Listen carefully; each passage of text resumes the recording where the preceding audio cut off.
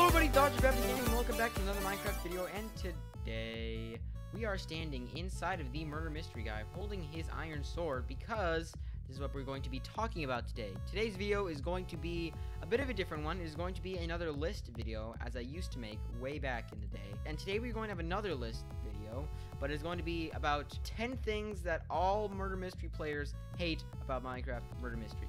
Now, when I say murder mystery players, I mean players that have been playing for a while, know what the game is, not just people who are new to it, because if so, then this has obviously happened to them at least more than once in their in their time when playing this game. But if you enjoy this type of video, uh, how it's laid out, and you want to see more of it, then please feel free to slap that awesome like button. And with that, let us get into the informational isms of this video video. Number 10, when you step into the doors in the haunted mansion in Hypixel World and it's the wrong door.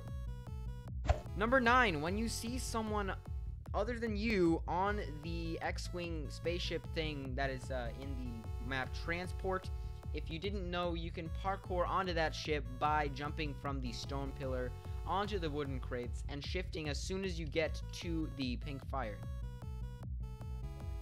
Number 8, when somebody in the chat rats you out for being the murderer, and then you die because now everybody knows you're the murderer. I mean, the game is called Murder Mystery.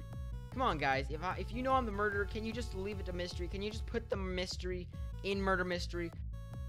Number 7, when you die in a way that did not involve a murder or a sword or anything.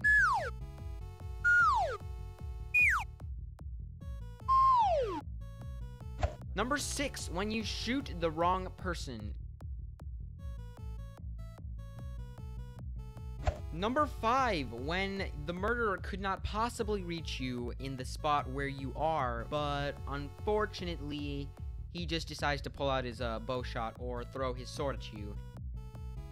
Number four, when someone randomly shoots you out of nowhere and you are the murderer. I'm pretty sure the girl who he shot is absolutely furious. Oh my god! That was so! What? Number three, this one's a bit of a more of a complicated one. Have nine gold, and the last gold piece you need is in the rapid transport, and you try to get it, and you happen to use the rapid transport instead of getting the gold. So now you just lost two gold instead of getting the last gold you would need for a bow shot. Coming in on the last two, number two, when finally got 10 gold, you finally got your bow shot, and then you die. You, you, you, you just die. And finally, number 10, here it is. Wait for it. When someone flips a trap on you. On Towerfall.